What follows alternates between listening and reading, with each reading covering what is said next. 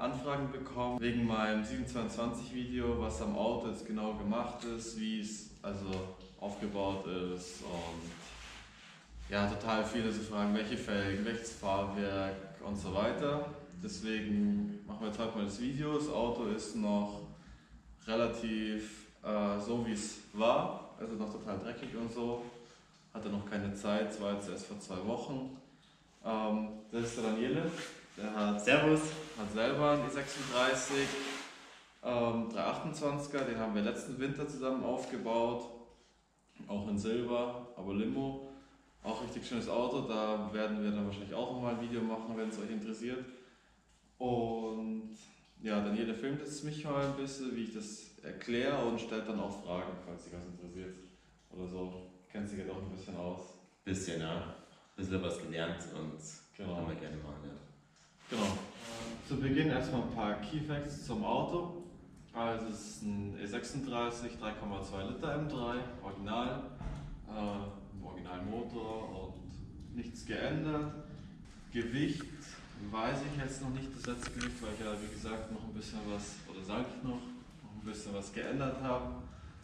Aber ich schätze so 1250, 1250 sowas würde ich jetzt mal schätzen. Sonst, weil ich denke, das wisst ihr, 320 PS, Handschalter, dazu später mehr. Vorne habe ich ein GT-Schwert, hatte ich jetzt das ganze Jahr nicht, beziehungsweise hatte Anfang des Jahres schon mal eins, ist dann weggeflogen, weil es so ein GFK-Nachbau war.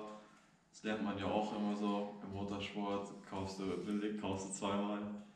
Ähm, deswegen habe ich jetzt hier das originale GT-Schwert, das ist auch richtig massiv. Das Problem ist nur, die ganze Schürze wackelt hier ein bisschen. Aber das werde ich noch beheben dann für nächstes Jahr. Dann ähm, habe ich von TMS eine Kooperation mit denen, die sind ganz cool. Da könnt ihr euch gerne melden. Wenn ihr Teile braucht, 3D gedruckte Teile, habe ich hier so die Trichter mit einem 70 mm Schlauch oder 75, also relativ groß. Zur Bremse mit Ankerblechen. Für die Belüftung. Genau, ja. Okay, Die cool. Hier habe ich es zugemacht. Kann man theoretisch auch noch Belüftung reinmachen. Jetzt habe ich gleich mal eine Frage bezüglich der Belüftung. Ähm, bist du davor ähm, ohne Bremsbelüftung gefahren oder, oder hast du das von Anfang an gehabt? Ähm, nee, also am Anfang hatte das Auto die originale Bremsbelüftung. Dann hast du äh, hast es äh, geupgradet Genau, ja. und merkst du dann einen Unterschied? Ähm, ja, also ich hatte das Problem letztes Jahr, als ich das Auto neu hatte, dass ich auf dem Hockenheimring gefahren bin mit der großen 6-Kolben Bremsanlage. Da ist dann die Bremsflüssigkeit, hat dann zum Kochen angefangen und dann bin ich äh, ins Kiesbett. Oh, Das kann ich ja nochmal schnell einblenden oder so. ist aber nichts passiert. Nee, nee, nee, Okay. aber-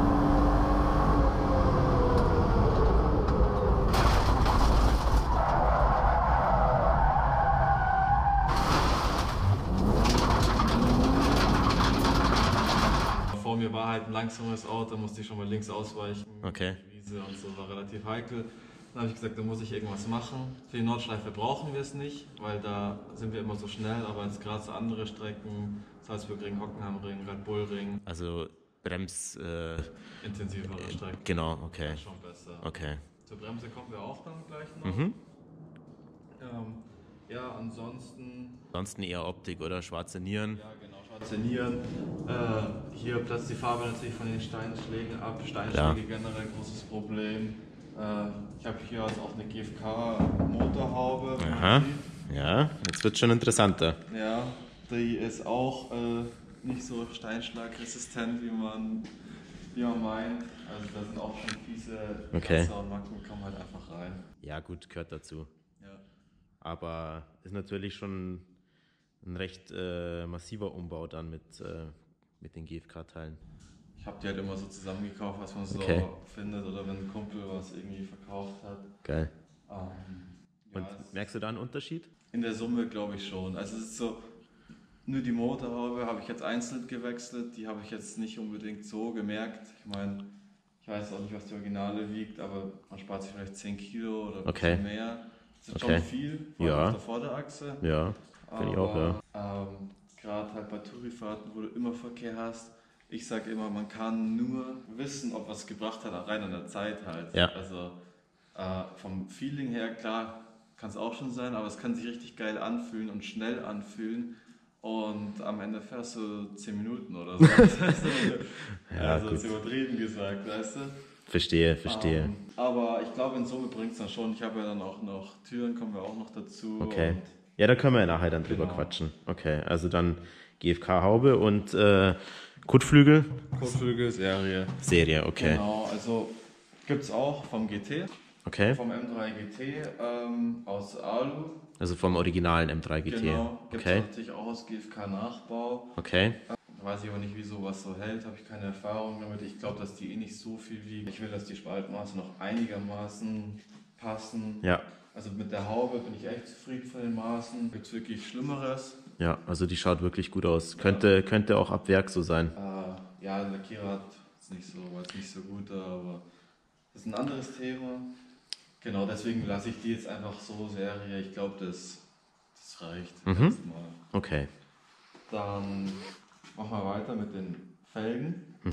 Das ist die ProTrack, die ProTrack One. Mhm. Ähm, ist auch mit, äh, ein Kumpel, Bekannter, mit dem ich eine Kooperation habe. Ähm, eigentlich fahre ich auch Werbung für ihn. Nur jetzt habe ich, wie gesagt, äh, mein Auto an den Seiten neu lackieren lassen. Jetzt mussten die Aufkleber leider weichen vorerst. Die kommen jetzt aber wieder drauf. Ähm, Okay. Jetzt auch nur einmal unterwegs gewesen seitdem. Äh, Also du hast eine, eine Kooperation mit Project und Genau. ähm, bist auch Fan davon. Ja, genau. Ich bin davon überzeugt. Also ich habe da auch wirklich gedacht, dass die leichter sind noch mal ein bisschen. Okay.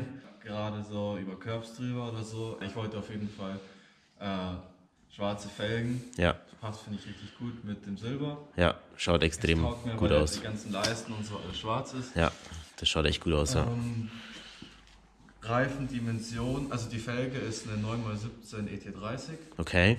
Mit äh, 235er 4517, die Retzer. Mhm. Okay. Ähm, und nochmal, ich weiß nicht, 12 oder 13er Spurplatten.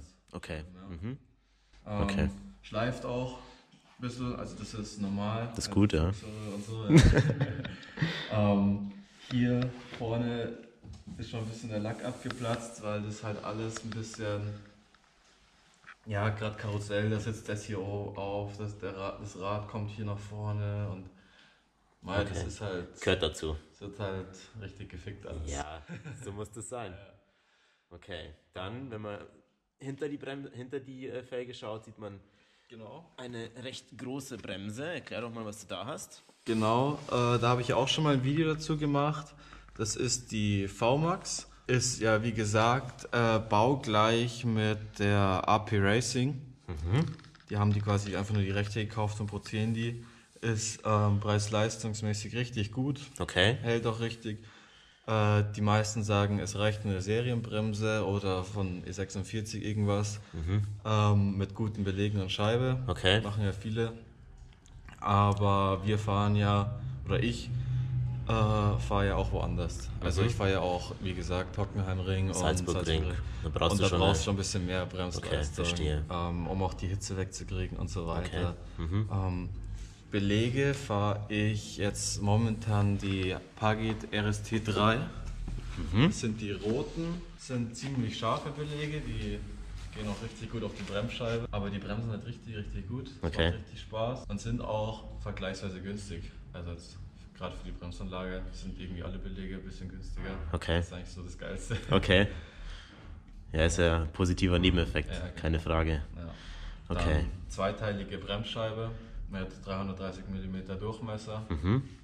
Ist auch gut, ähm, weil dann kann man einfach die, den Reibring nur wechseln, der Topf bleibt. Ich habe ja ähm, vorhin gesagt, ich hatte mal eine Sechskolben drauf, die Sechskolben BMW. M-Performance und irgendwie so hieß die. Mhm. Diese gelben, goldenen. Ja, hat genau. Ja. Äh, auch riesengroß, hat auch mega geil ausgeschaut, kann ich vielleicht auch noch ein Bild einblenden. Ähm, aber da war das Problem des ABS, also das Hauptproblem war das ABS. Es ist damit einfach nicht klargekommen, vor allem auf der Nordschleife nicht. Ja. Hat mega gut gebremst. Da Okay. waren auch ähm, Endless-Belege richtig gute drauf. Okay. haben ewig gehalten, gerade mit dem geringen Fahrzeuggewicht. Okay. Also rein theoretisch eine richtig leistungsstarke Bremse. genau. Aber ABS ging halt sofort immer an, das Bremspedal wurde hart. Okay. Äh, ich wusste, hatte voll, also kein Vertrauen ins Auto, dachte immer, jetzt fahren wir wieder geradeaus, weil also auf der Nordschleife, so gerade nach Pflanzgart, nach einem Sprunghügel oder so, Ja. konnte ich nicht mehr bremsen. Also habe ich dann noch nicht mehr, ich musste vorher schon so viel verzögern, Okay. weil durch den Sprung und diese große Bremse ist das alles nicht mehr klar ja. gekommen. Dann habe ich mal das probiert und dachte mir, wenn das halt nicht funktioniert, dann baue ich halt auch wieder auf Serie. Mhm. Aber dadurch, dass es jetzt halt funktioniert hat, Okay. Also du bist, du bist happy mit deinem ja. theoretisch Rückschritt von sechs Kolben auf vier Kolben, wo Ja, jeder genau. sagen würde, warum macht man das, aber eigentlich funktioniert das viel besser. Genau, ja. Okay. Cool. Cool, cool. Dann ähm, ja, noch zur Vorderachse, das ist eigentlich alles dann serienmäßig. Ich glaube, das sind die Querlenker jetzt vom 3.0er M3 Mhm. drin. Oder da kenne ich mich nicht so genau aus. Auf jeden Fall habe ich die exzentrischen Querlenker, Lager. diese Augen. Ja. Ähm, Die hast du verbaut. Vom M3. Okay. Also da ist jetzt nichts Uniball oder sonst was. Okay. Äh, ja. Stabis? Stabi habe ich einen AC Schnitzer. Oh, okay. Ähm, der war schon verbaut. Ist, glaube ich, auch nichts anderes wie H&R. Also Okay. die nehmen sich da, glaube ich, nicht viel. Okay. Halt eingetragen. H&R ist halt so der Klassiker eigentlich. Ja, genau. AC Schnitzer habe ich jetzt nicht gehört, aber scheint zu funktionieren. Ja. Okay. Kommen wir zum Motor. Äh, hier Wärmekatschverschlüssen GFK-Haube. Am Motor gibt es eigentlich nicht viel zu sagen. Ist alles serienmäßig, leider keine Airbox. Ähm, ja, das hier ist nur so ein Temperatursensor, damit ich äh, Temperatur im Innenraum habe. Sieht man Zelle bis auf die Dilme. Dazu kommen wir auch später noch mehr, wenn wir den Innenraum zeigen. Und das Beste, was ich am Auto finde, das Fahrwerk. Äh, ein Competition Zweifachfahrwerk äh, mit Custom Race Tech Setup und ich bin vorher Clubsportfahrwerk gefahren in meinem alten 325er, das ist einfach unterschiedlich Tag und Nacht. Aber halt ähm, für Straße, also für Straße kannst du eigentlich vergessen, finde ich. Okay. Ich war auch nur im Hänger immer und so. Okay. Ganz vergessen. An Domstrebe habe ich jetzt keine, ähm, weil ich da immer zu diesen, äh, hier zu den Einstellungen nicht hingekommen bin, weil die hier so drüber gegangen ist Mhm. und war ganz komisch. Deswegen habe ich die gleich ganz weggemacht und fahre jetzt einfach erstmal ohne. Oder hol mir im Winter wieder eine. Ja, dann hier habe ich einen Motorsportlüfter verbaut mit einem äh, Schalter im Innenraum. Kühler ist Serie. Jetzt haben wir gerade schon die GFK-Haube gesehen. Jetzt habe ich vor kurzem für das letzte Mal fahren am Ring jetzt nochmal GFK-Tür ähm, eingebaut mit Macaronischeiben. Ähm, Okay. mit Fenster, also ja, die waren, die sind jetzt halt frisch lackiert worden, das ist noch nicht alles hundertprozentig fertig. Ich will noch neue äh, Scheiben reinmachen lassen, ohne Schrauben dann. Hier standen so richtig fiese Schrauben raus und so. Das habe ich jetzt versucht ein bisschen schöner zu machen. Dann will ich halt geklebte Scheiben und Okay. so weiter. Dann kommt hier auch wieder die Protec-Werbung drauf. Ganz wichtig. Ja. Und vom Schließen, es geht eigentlich jetzt in Grenzen. Manchmal muss man ein bisschen fester zu hauen. So wie jetzt hier muss man halt immer oben die Scheibe ein bisschen reindrücken. Wenn man das nicht macht, dann bleibt die Scheibe halt hier außerhalb. Und das sind halt so Nachteile, wenn man Okay. so Spielereien einbaut. Ja, ja, klar. Das ist halt immer das Gleiche. Das ist halt einfach der Nachteil, wenn man dann so ein bisschen äh, Anfängt zu basteln. anfängt zu basteln. Ja, das ist die Gefahr dabei. Ja. Aber schaut extrem cool aus und bringt natürlich auch was, oder? Das habe ich extrem gemerkt. Also gewichtsmäßig ist es richtig gut. Ich habe hier auch eine Waage. Da wiege ich immer meine Teile, wenn ich sie Aha. einbaue. Da hängt schon der Sitz. Ja, also die schaut jetzt ziemlich alt aus, aber die funktioniert wirklich. Okay. Wir haben es schon getestet. Okay. Ähm, Weißt du, hast du das noch im Kopf, was der Unterschied war? Also der Sitz hier wiegt ähm, jetzt zum Beispiel 17 Kilo, weil da die ganze Konstruktion hier unten so krass schwer ist. Das war halt vom Vorbesitzer irgendwie so ein Eigenbau. Dann habe ich natürlich auch die Türen gewogen. Die liegen jetzt noch hier direkt unter der Waage. Schaut jetzt nicht so schön aus. Wiegt, ähm, kann ich einblenden, ich weiß nicht mehr genau. Ich habe das alles verfolgt, äh, beziehungsweise gepostet auf Instagram. Ich glaube, dass ich mir jetzt so 40 Kilo, 45 Kilo durch die Türen gespart Für habe. beide Seiten. Für beide Seiten, ja. Das ist natürlich schon Also nicht wenig. Die GFK-Türen haben gewogen 6 Kilo oder so. Und die Originalen haben gewogen eine 22 Kilo. Über, knapp über 20 waren es, ja, 20. mit Scheibe. Genau. Ja, das ist schon Ja. ein deutlicher Unterschied. Das ist schon krass, ja. Ja. Merkst du das ähm, auch in der Kurve dann, wenn du jetzt eine, eine schnellere Ja. Kurve fährst, jetzt so Flugplatz, die erste rechts als Beispiel, merkst du dann, dass das Auto dann irgendwie doch ein bisschen, bisschen leichter Also ist? ich habe es jetzt nicht, da könnte ich vielleicht noch ein bisschen schneller fahren. Ähm, ich habe es jetzt gemerkt, dass das Auto einfach sicherer ist. Also man fährt, man lenkt halt ein und es rutscht halt noch weniger, Okay. als es eh schon rutscht. Und du merkst halt, denkst du jedes Mal so, oh, es fährt eigentlich leichtfüßig durch und so, es wäre jetzt noch schneller gegangen. Zum Inneren kommen wir dann später. Hier drin ist es ein bisschen so dunkel, da müssen wir jetzt gleich dann rausfahren. Machen wir noch ein paar Rolling Shots, schauen wir, ob wir das hinkriegen. Dann hinten auch Plastikscheiben. Äh, bessere Qualität wie vorne, die man auch sieht. Die sind jetzt seit einem Jahr alt und sind, haben noch keinen Kratzer. Okay. Obwohl immer alle sagen, die kratzen immer. Äh, ja, sind auch eintragbar. Sind natürlich eingetragen. Sind schon eingetragen? Ja. Okay, ja gut. War ja Ähm, klar. Hier auch professionell ähm, foliert. Aha. Von mir Ja. persönlich. Ja. Deswegen nur die geraden Stellen, weil Kurve war schon zu schwierig. Okay. Ähm, das ganze Auto wird eh neu foliert, kann ich jetzt schon mal sagen. Oh, Dann okay. solche Sachen auch ähm, dann behoben und alles schön gemacht. Das Also eine, ist eine, eine Vollfolierung geplant oder Ja, was? genau. Das ist ein Design. Genau, Okay. wahrscheinlich. Also steht noch nichts Genaues fest. Okay. Bisschen was. Hinten auch eine Scheibe aus Mhm. Plastik. Äh, die habe ich einmal ringsrum geklebt, Mhm. aber ich habe dem Ganzen nicht so vertraut, deswegen habe ich einfach noch ein paar Löcher reingejagt und äh, vier Schrauben, auf jeder Seite zwei Stück reingemacht. Äh, sicherheitshalber, weil ein Kumpel von mir hat gesagt, er hat schon gesehen, dass die Scheiben weggeflogen sind. Gerade wenn man das Fenster offen hat, bei den alten Türen jetzt hat, hat man schon gesehen im Rückspiegel, dass die extrem zum Flattern anfängt. Okay. Äh, dann hier Gronat. Ja, ist eine, eine Firma, Metallbaufirma aus München, die mich auch unterstützt. Dann äh, überspringen wir mal kurz die Hinterachse. Gehen Okay. wir kurz zum äh, Spoiler. Auch hier Class 2 Nachbau. Ähm, hier sieht man noch richtig schön dreckig alles hinten. Also das Auto ist einfach hier abgestellt worden, wird jetzt im Winter noch ein bisschen was gemacht. Erst gewaschen, dann noch viel umgebaut. Deswegen erstmal so hingestellt. Ähm, der Heckdeckel ist tatsächlich noch aus Blech.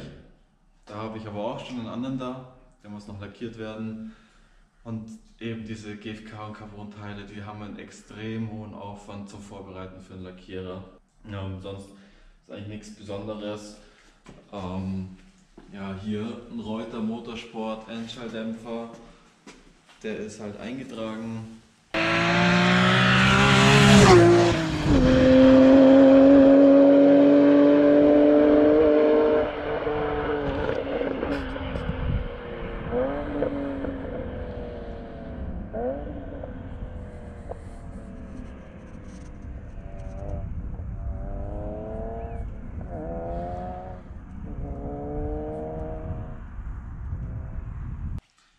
Finde ich optisch ganz cool. Jetzt sind wir jetzt bei der Hinterachse. Gleiche Reifen wie vorne, gleiche Felgen wie vorne, also alles gleich. Originale Lager hauptsächlich, bis auf ähm, ja, diese äh, Querlenker da, ist, ähm, diese Stützstrebe. Das Uniball von Custom Racetech, ein Teil. Dann hier Längslenker ist äh, Uniball. Die Koppelstangen an den Stabis sind alle Uniball, auch vorne ringsrum. Tonnenlager, also die Hinterachse an sich ist starr gelagert. Ähm, ja, das Diff ist äh, MPU gelagert.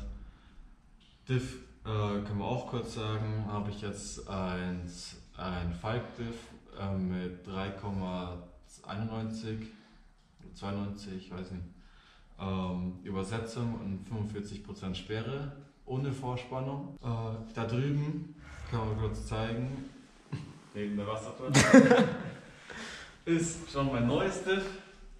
Äh, werde ich auch mal ausprobieren, einfach mal mit einer anderen Übersetzung. Muss ich ein bisschen spielen. Viele sagen 391 ist die beste, viele tragen, sagen äh, 364, 62 ist das Beste. Mei, mit dem Diff, was jetzt drin ist, muss ich halt extrem oft schalten. Das nervt mich halt. Brünnchen, äh, runterfahren, vorm Runterfahren schon mal den dritten schalten, dann unten den vierten schalten, dann oben vor Eiskurve wieder runterschalten.